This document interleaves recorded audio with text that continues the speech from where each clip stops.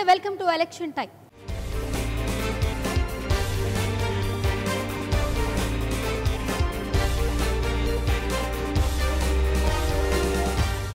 ఉత్తరాదితో ఒక రాష్ట్రం ఎన్నికల పర్వాన్ని దిగ్విజయంగా ముగించింది. ఛత్తీస్గఢ్లో రెండో విడత పోలింగ్ ముగిసింది. అటు రాజస్థాన్లో నామినేషన్ల ప్రక్రియ పరిసమాప్తయింది. మధ్యప్రదేశ్లో ప్రభుత్వ వ్యతిరేకతను సొమ్ము చేసుకోవడానికి కాంగ్రెస్ పార్టీ వ్యూహ రచన చేస్తోంది. బీజేపీ ప్రభుత్వం తన విజయాలనే అస్త్రాలుగా ప్రచారం చేస్తోంది. రాజస్థాన్ ముఖ్యమంత్రి వసుంధరా రాజేని ఓడించి తీరుతామంటున్న కాంగ్రెస్ అభ్యర్థి ఇప్పుడు అందరి దృష్టిని ఆకర్షిస్తున్నారు. ఆ విశేషాలంటూ ఇప్పుడు చూద్దాం.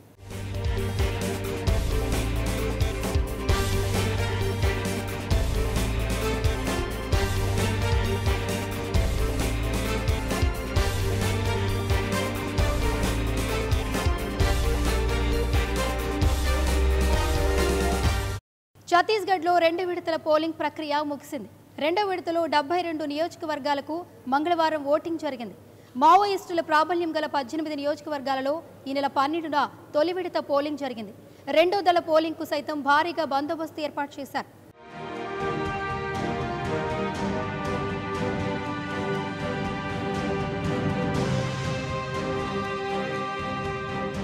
ఛత్తీస్గఢ్లో ఎన్నికల పర్వం ముగిసింది.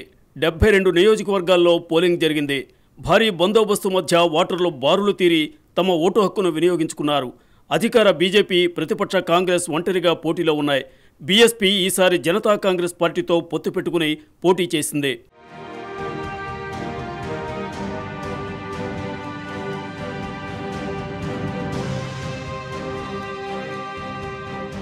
ఛత్తీస్గఢ్లో మావోయిస్టుల ప్రాబల్యం అధికంగా ఉన్న పద్దెనిమిది నియోజకవర్గాల్లో ఈ నెల పన్నెండున తొలి విడత పోలింగ్ జరిగింది. మిగతా నియోజకవర్గాల్లో మంగళవారం పోలింగ్ నిర్వహించారు. ఉదయం ఎనిమిది నుంచి సాయంత్రం ఐదు గంటల వరకు ఓటింగ్ జరిగింది. ఈ విడతలో తొమ్మిది మంది మంత్రులు బరిలో ఉన్నారు. రెండో విడతలో మొత్తం పంతొమ్మిది వేల రెండు వందల తొంభై ఆరు పోలింగ్ కేంద్రాలను ఏర్పాటు చేశారు.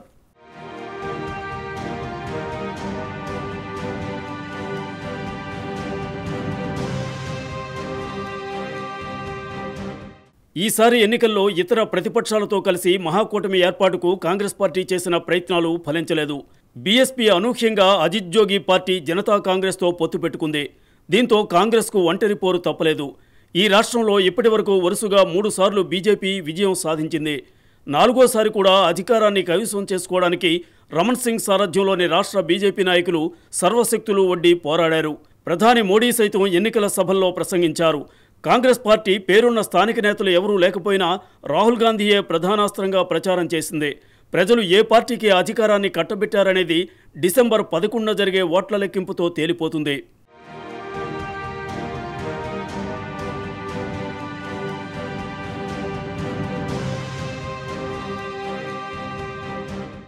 రాజస్థాన్లో నామినేషన్ల పర్వం ముగియడంతో పార్టీలు పూర్తి స్థాయిలో ప్రచారం మొదలుపెట్టాయి. తెలంగాణతో పాటే రాజస్థాన్లో సోమవారంతో నామినేషన్ల పర్వం ముగిసింది. ఇక అభ్యర్థులు పార్టీల ప్రచారం హోరెత్తనుంది. ప్రధాని నరేంద్ర మోదీ కాంగ్రెస్ అధ్యక్షుడు రాహుల్ గాంధీ కూడా ఎన్నికల సభల్లో ప్రసంగించనున్నారు.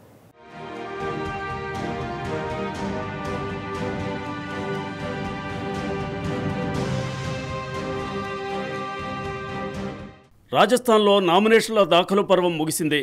రికార్డు స్థాయిలో ఈసారి మూడు వేల రెండు వందల తొంభై నాలుగు మంది అభ్యర్థులు తమ నామినేషన్లు దాఖలు చేశారు. ఎన్నికల్లో పోటీకి అతి ముఖ్యమైన ఘట్టం ముగియడంతో ఇక అభ్యర్థులు ప్రచారాన్ని హోరెత్తించడానికి సన్నాహాలు చేసుకుంటున్నారు. పార్టీలు కూడా ప్రముఖుల ప్రచారానికి సన్నాహాలు చేస్తున్నాయి.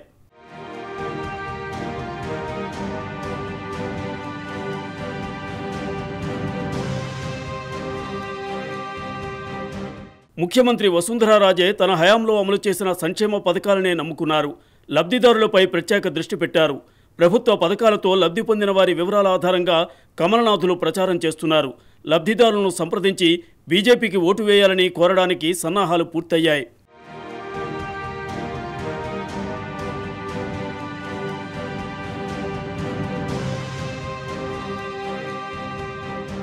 కాంగ్రెస్ పార్టీ ఆనవాయితీ ప్రకారం ఈసారి కూడా తన ముఖ్యమంత్రి అభ్యర్థిని ముందుగా ప్రకటించలేదు.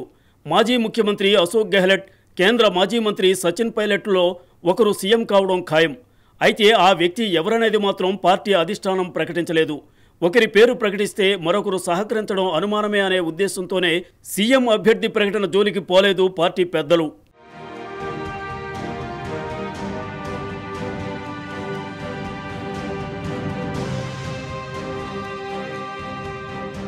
కాంగ్రెస్ అనధికారిక సీఎం అభ్యర్థులు గెహ్లెట్ పైలట్ ఇద్దరు అసెంబ్లీ ఎన్నికల్లో పోటీ చేస్తున్నారు.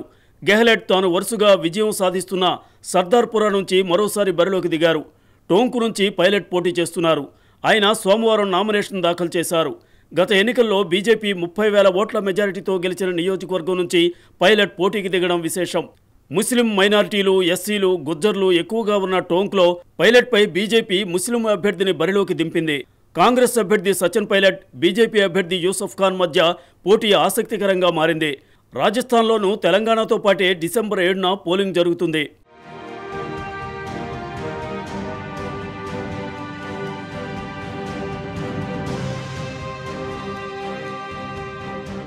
ఇక్కడ కూడా బీఎస్పీతో పొత్తుకు కాంగ్రెస్ చేసిన ప్రయత్నాలు ఫలించలేదు. ఏనుగు పార్టీతో చేయి కలిపితే బలం పెరుగుతుందన్న ఆశ అడియాశ అయింది. సమాజ్వాదీ పార్టీతో పొత్తుకు చేసిన ప్రయత్నం కూడా బెడిసికొట్టింది. కాంగ్రెస్ వైఖరి సరిగా లేదంటూ అఖిలేష్ యాదవ్ పొత్తు ప్రతిపాదనను తిరస్కరించారు. దీంతో ఒంటరిగానే బీజేపీని ఎదుర్కోవడానికి కాంగ్రెస్ పార్టీ సిద్ధమైంది.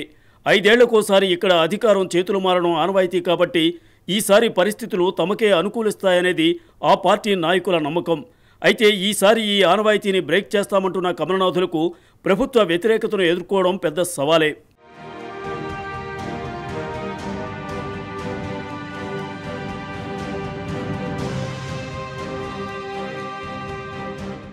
మధ్యప్రదేశ్లో వరుసగా నాలుగోసారి విజయం కోసం బీజేపీ తహతహలాడుతోంది. పదిహేనేళ్ళుగా అధికారానికి దూరంగా ఉన్న కాంగ్రెస్ ఈసారైనా అధికారాన్ని హస్తగతం చేసుకోవడానికి ఉవ్విళ్ళిరుతోంది చౌహాన్ సర్కార్ తన విజయాలను వివరిస్తుంటే కాంగ్రెస్ మాత్రం ఆయన వైఫల్యాలను ప్రచారం చేస్తోంది.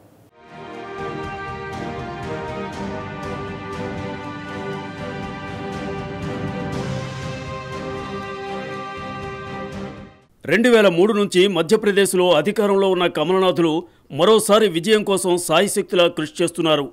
ఈసారైనా బీజేపీని ఓడించాలని కాంగ్రెస్ నేతలు అవిశ్రాంతంగా శ్రమిస్తున్నారు.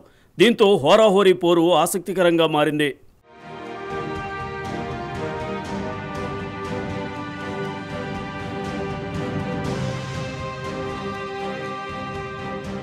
ప్రతిపక్ష కాంగ్రెస్ చేతిలో ఉన్న బ్రహ్మాస్త్రం వ్యాపం కుంభకోణం. ప్రొఫెషనల్ ఉద్యోగాల నియామక పరీక్షలో విచ్చలవిడిగా జరిగిన అవినీతి కుంభకోణం రాష్ట్రంలో సంచలనం కలిగించింది. గత కొన్ని సంవత్సరాలుగా ఇది పెద్ద చర్చనీయాంశమైంది. ఓవైపు విచారణ జరుగుతుండగానే మరోవైపు ఈ స్కామ్తో సంబంధం ఉన్న చాలామంది అనుమానాస్పద స్థితిలో మరణించడం కలకలం రేపింది.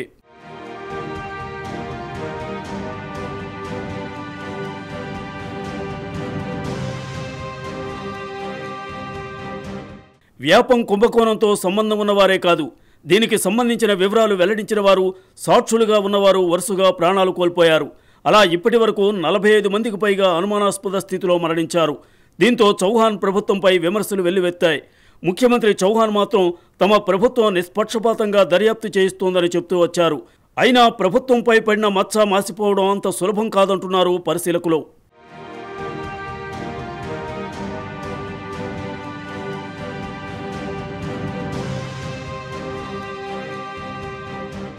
ఉజ్జయినిలో జరిగిన సింహస్థ కుంభమేళా సందర్భంగా బీజేపీ ప్రభుత్వం అవినీతికి పాల్పడిందని కాంగ్రెస్ ఆరోపించింది.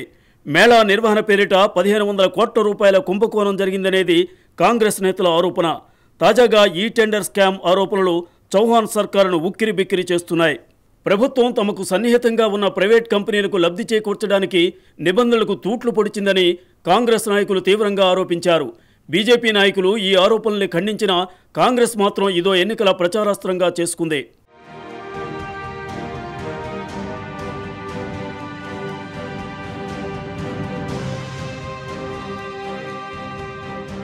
రైతులు నిరుద్యోగులు ప్రభుత్వంపై కోపంతో ఉన్నారనేది కాంగ్రెస్ నమ్మకం. శాంతి భద్రతలు సరిగా లేవని మహిళలకు భద్రత కరువైందని ప్రతిపక్షం ఆరోపిస్తోంది. అయితే ప్రభుత్వ వైఫల్యాలను వాట్ల రూపంలోకి మలచుకోవడంలో కాంగ్రెస్ సఫలమవుతుందా అనేది ప్రశ్న. ప్రభుత్వ వ్యతిరేకత తీవ్రస్థాయిలో ఉన్న ప్రస్తుత తరుణంలో సునాయాసంగా గెలవాల్సిన మధ్యప్రదేశ్ ఎన్నికలను సంక్లిష్టంగా చేసుకోవడం కాంగ్రెస్ స్వయంకృతమే అంటున్నారు పరిశీలకులు.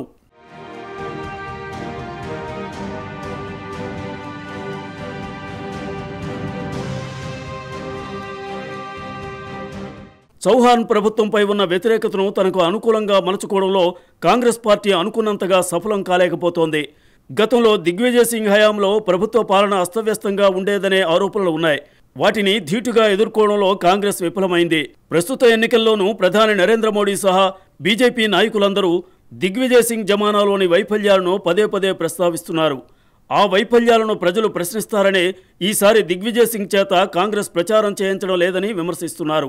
ఈ విమర్శల్ని కాంగ్రెస్ సమర్థంగా తిప్పికొట్టలేకపోతోంది.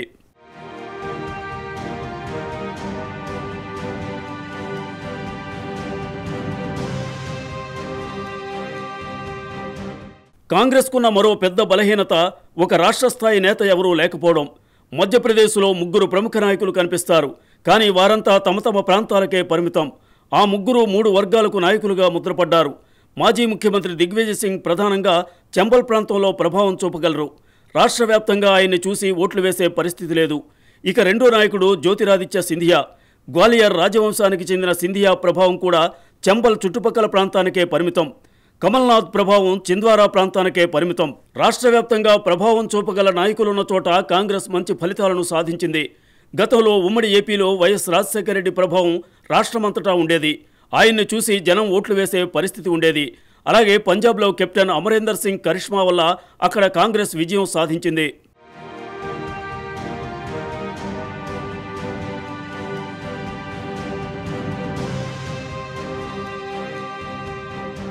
రాష్ట్రంలో అధికారానికి దూరమైన ఈ పదిహేనేళ్ళలో ఒక బలమైన నాయకుడిని కాంగ్రెస్ తయారు చేసుకోలేకపోయింది. ప్రాంతాలకు వర్గాలకు అతీతంగా రాష్ట్రమంతటా ప్రభావం చూపగల నేత ఉండి ఉంటే ఈసారి సునాయాసంగా ఆ పార్టీ విజయం సాధించేదని పరిశీలకుల అంచనా. ఆ పరిస్థితి లేకపోవడంతో బీజేపీని ఢీకొనడానికి కాంగ్రెస్ చాలా కష్టపడాల్సి వస్తోంది.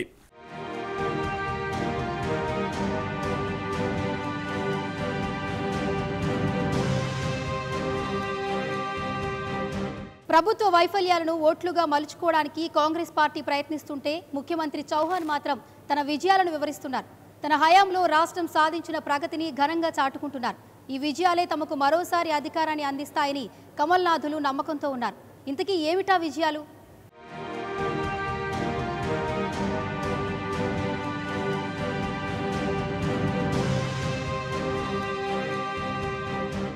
చౌహాన్ ప్రభుత్వం ఘనంగా చెప్పుకునే విజయాల్లో మొదటిది వృద్ధి రేటు పెరగడం.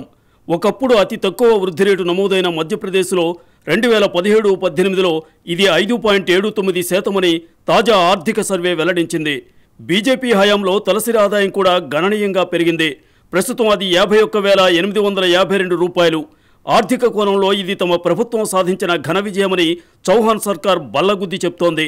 ఒకప్పుడు బిమారు రాష్ట్రాల్లో ఒకటైన మధ్యప్రదేశ్ ఇప్పుడు ప్రగతి పథంలో దూసుకుపోతోందని కమలనాథులు ప్రచారం చేస్తున్నారు.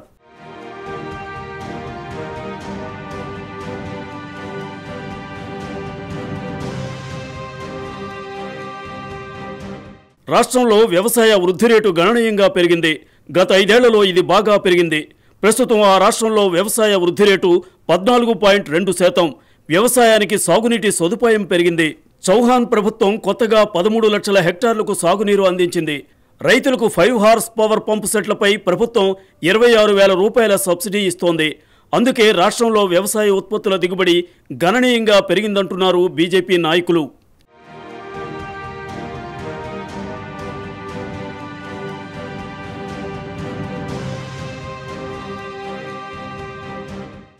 ఆహార ధాన్యాల ఉత్పత్తిలో మధ్యప్రదేశ్ గణనీయమైన పురోగతి సాధించింది. దేశంలోనే మొదటి స్థానం పొందింది. ఆ రాష్ట్రంలో ప్రస్తుతం ఆహార ధాన్యాల దిగుబడి రెండు వందల డెబ్బై మూడు పాయింట్ మూడు ఎనిమిది మిలియన్ టన్నులు. రెండు వేల పదిహేనులో ఇది ఆరు వందల అరవై ఐదు పాయింట్ సున్నా నాలుగు టన్నులు. పాడి పరిశ్రమలోనూ భారీగా వృద్ధి నమోదైంది. రెండు వేల ఐదు నాటితో పోలిస్తే పాల ఉత్పత్తిలో డెబ్బై ఐదు శాతం వృద్ధి నమోదైంది. ప్రస్తుతం పాల ఉత్పత్తిలో మధ్యప్రదేశ్ దేశంలోనే మూడో స్థానంలో ఉంది.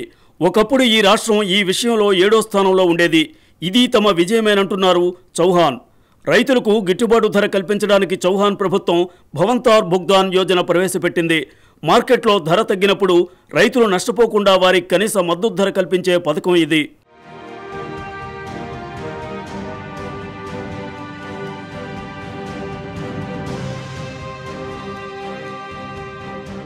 విద్యుత్ రంగంలో మధ్యప్రదేశ్ గణనీయమైన పురోభివృద్ధి సాధించింది. సాంప్రదాయేతర విద్యుత్ ఉత్పత్తి భారీగా పెరిగింది. గృహ పారిశ్రామిక వినియోగదారులకు ఇరవై నాలుగు గంటల విద్యుత్ సరఫరా అవుతోంది వ్యవసాయానికి రోజుకు పది గంటల విద్యుత్ సరఫరా అవుతోంది రెండు వేల పదకొండు నుంచి ఇప్పటి వరకు ఈ రాష్ట్రం విద్యుత్ ఉత్పత్తిలో అరవై నాలుగు శాతం వృద్ధి సాధించింది. మిగులు రాష్ట్రంగా మారింది. తన రాష్ట్ర అవసరాలు పోను ప్రస్తుతం ఢిల్లీ బీహార్లకు కూడా విద్యుత్ సరఫరా చేసే స్థాయికి ఎదిగింది. ఒకప్పుడు దేశంలోనే విద్యుత్ రంగంలో అధమ స్థాయిలో ఉండేది. కానీ ఇప్పుడు ఈ విద్యుత్ వెలుగులు తమ ఘనతే అని చౌహాన్ ప్రభుత్వం గొప్పగా చెప్పుకుంటోంది. రాష్ట్రంలో పర్యాటక రంగం కూడా బాగా అభివృద్ధి చెందింది. పర్యాటకుల సంఖ్య రెండు వేల పదహారులో ఏడు పాయింట్ ఐదు కోట్లు రెండు వేల పదిహేడులో అది పదిహేను పాయింట్ సున్నా ఐదు కోట్లకు పెరిగింది. విదేశీ పర్యాటకుల సంఖ్య మూడు లక్షల అరవై మూడు వేలకు పెరిగింది.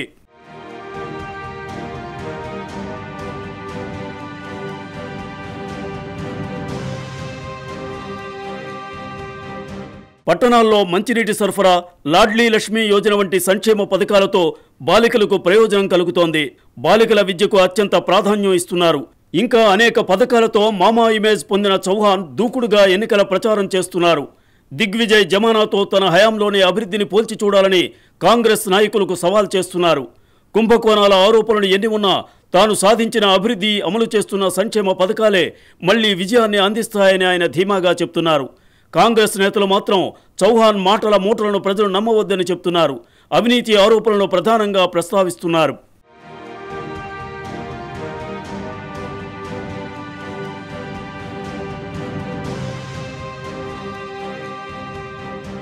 ముఖ్యమంత్రిపై ఆమె పార్టీకి చెందిన ఓ సీనియర్ నాయకుడు తనయుడు పోటీ పడుతున్న అరుదైన దృశ్యం రాజస్థాన్లో కనిపిస్తోంది. సీఎం వసుంధరా రాజే కంచుకూట లాంటి జూలర్ పఠాన్లో మానవేంద్ర సింగ్ పోటీ చేస్తున్నారు. ఒకప్పుడు వాజ్పేయి ప్రభుత్వంలో కీలక శాఖల మంత్రిగా పనిచేసిన జస్వంత్ సింగ్ కుమారుడైన మానవేంద్ర సింగ్ ఈసారి సీఎంను ఓడిస్తానని బరిలోకి దిగడం ఆసక్తికరంగా మారింది.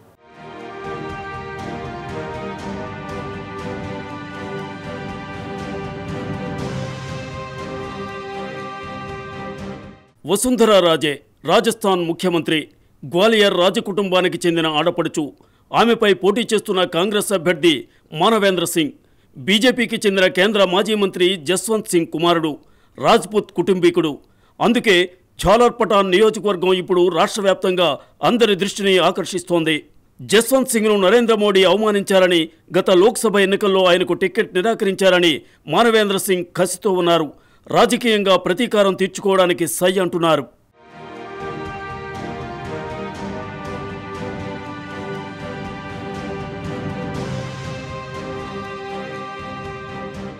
సంప్రదాయంగా చూస్తే ఈ నియోజకవర్గం కాంగ్రెస్కు కంచుకోట లాంటిది కాదు. ఎక్కువసార్లు కమలమే వికసించిన ప్రాంతం. పంతొమ్మిది వందల డెబ్బై ఏడులో ఆవిర్భవించిన ఈ నియోజకవర్గంలో ఇప్పటి వరకు కాంగ్రెస్ రెండుసార్లు మాత్రమే గెలిచింది. రెండు వేల మూడు నుంచి వరుసగా మూడు సార్లు వసుంధరా రాజే విజయం సాధించారు. గత ఎన్నికల్లో ఆమె ఏకంగా అరవై వేల ఎనిమిది వందల తొంభై ఆరు ఓట్ల మెజార్టీతో నెగ్గారు.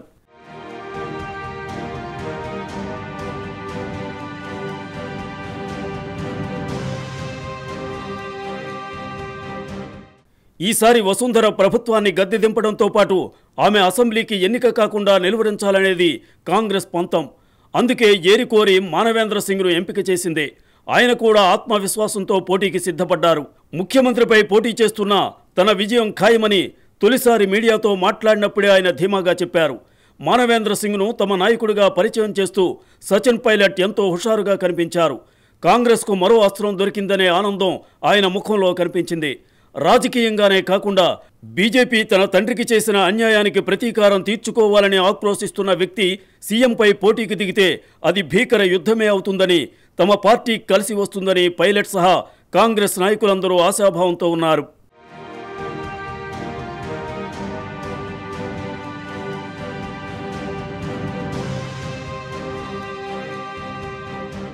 బీజేపీ తరపున గత ఎన్నికల్లో అసెంబ్లీకి ఎన్నికైన మానవేంద్ర సింగ్ మొన్న సెప్టెంబర్లో కాషాయ పార్టీని వీడారు కాంగ్రెస్లో చేరారు. తన తండ్రికి బీజేపీ చేసిన అవమానాన్ని ఆయన మర్చిపోలేకపోతున్నారు. దశాబ్దాల పాటు బీజేపీకి సేవ చేసిన జస్వంత్ సింగ్ను అవమానించినందుకు బీజేపీకి తగిన గుణపాఠం చెప్పాలని భావిస్తున్నారు. రాష్ట్రంలో కమలం పార్టీని ఓడించడమే కాదు ఝోలర్ పటాన్లో వసుంధరుడు ఓడించడం తన తక్షణ కర్తవ్యమని మానవేంద్ర సింగ్ చెప్తున్నారు. కాంగ్రెస్లో చేరిన కొన్ని రోజులకే తన సొంత బార్మేర్ జిల్లాలో ఆయన స్వాభిమాన్ ర్యాలీ నిర్వహించారు. రాజపుత్రుల ఆత్మగౌరవాన్ని కాపాడడమే తన లక్ష్యమని ప్రకటించారు. రాష్ట్రంలో గణనీయంగా ఉన్న రాజపుత్రుల మద్దతును కాంగ్రెస్కు అందించడానికి ఆయన తురుపుముక్కగా భావిస్తున్నారు. జోలర్పటాన్లో వసుంధర ప్రభుత్వ వైఫల్యాలే అస్త్రాలుగా మానవేంద్ర సింగ్ విజయం కోసం వ్యూహరచన చేస్తున్నారు. ప్రజలను ఆలోచింపజేస్తూ ఈసారి మార్పు కోసం ఓటు వేయాలని అభ్యర్థిస్తున్నారు. అందుకే రాజస్థాన్ మొత్తం మీద ఇదే బిగ్ ఫైట్ అంటున్నారు పరిశీలకులు.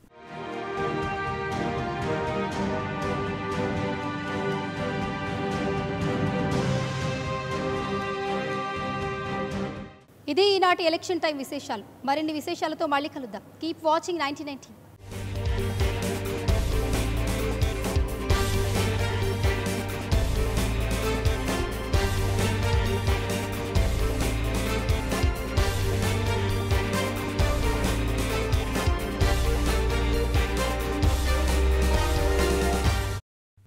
For more updates, please subscribe 99TV Telugu.